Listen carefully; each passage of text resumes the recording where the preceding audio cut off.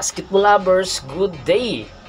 Namimiligro ngayon ang Barangay Hinebra na hindi makapasok sa playoffs. Tara guys, pag-usapan natin yan. Welcome to my sports channel. This is Percival Monteron at your service. Sa hindi pa po nakakapag-subscribe, mag-subscribe na po kayo. At huwag kalimutan i-click ang notification bell button para nga maging updated sa kwentuhan. At bago nga natin umpisa ng kwentuhan, shout out muna tayo sa ating mga followers at subscribers. Kay Sir Rene Andujar, Rene and Marcia Dineros, Rudy Camigin Jr., Anthony Laquialon, Kindus Lucanas, at si Mr. Joselito Tampipi. Marami pong salamat sa walang sawa niyong pagsuporta.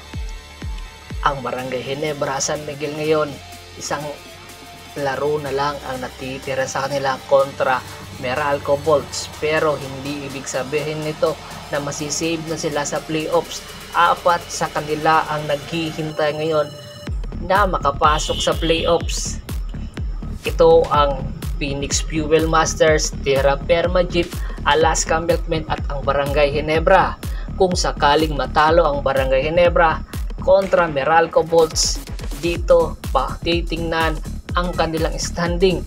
Especially kung pareha sila ng 4-7, magkakapareha sila at titingnan dito ang quotient system.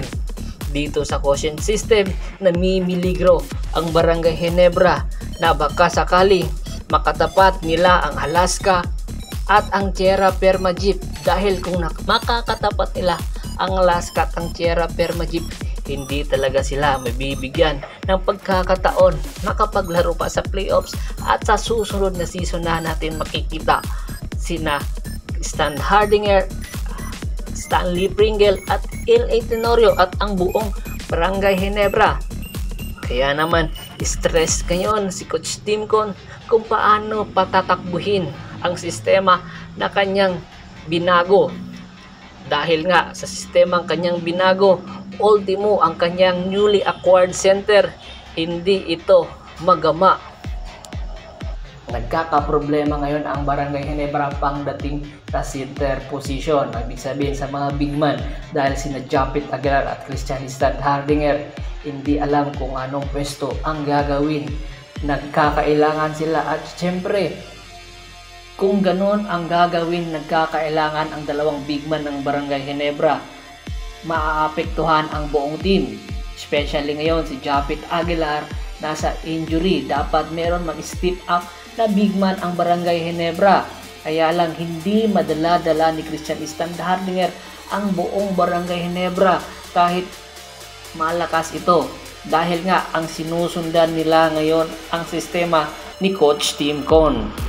Kaya naman noong huling laro ng Barangay Hinebra kontra Alaska Milkmen na kung saan tinambakan sila naubusan ng pasensya si Coach Tim Con hindi alam kung ano ang gagawin sa team dahil ang team mismo hindi alam kung ano ang kanilang gagawin. Especially si Stanley Pringle na kanilang inaasahan na pumuntos para nga maiangat uli ng Barangay Hinebra ang kanilang team. Dahil nga sa naging performance ng Barangay Hinebra noong huling laro kontra Alaska Milkmen, kumakalat ngayon sa social media na nagkamali ang Barangay Hinebra sa pag-trade kay Greg Slaughter papunta ng Northport at pagkuha kay Christian Standhardinger dahil daw hindi fit sa sistema ni Coach Tim Con si Christian Standhardinger. Kaya tuloy, marami na naman ang kumakalat na rumors ngayon na kukunin na naman uli ng Barangay Hinebra si Greg Slaughter sa mga susunod na season.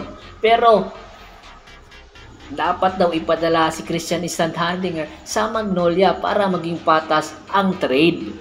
Kaya naman ang mga fans ng PBA at ng Barangay Hinebra litong-lito ngayon kung saan ba talaga pupunta si Greg Slaughter at si Christian Isan Hardinger. Dapat bang bumalik uli sa Barangay Hinebra si Greg Slaughter at ituloy ang nasabing trade? Comment na sa baba ng video at pag-usapan natin yan. Once again, this is Percival Monteron at your service. Don't forget to subscribe my sports channel at don't forget to click the notification bell button para nga maging updated sa kwentuhan. Hanggang sa muling kwentuhan, maraming maraming salamat po.